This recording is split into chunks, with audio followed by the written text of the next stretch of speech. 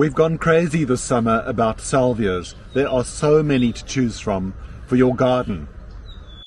Salvias attract pollinating insects, and sunbirds love their nectar.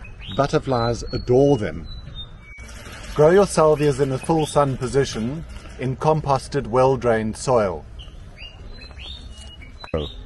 Feed your salvias with 315 and at the end of summer cut them back right down and they will resurge in spring.